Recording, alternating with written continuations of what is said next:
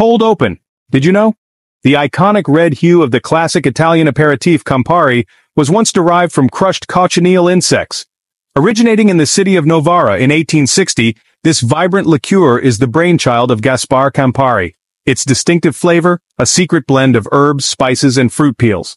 Carmine dye, responsible for the signature red, was discontinued in 2006, but the unmistakable bittersweet taste remains.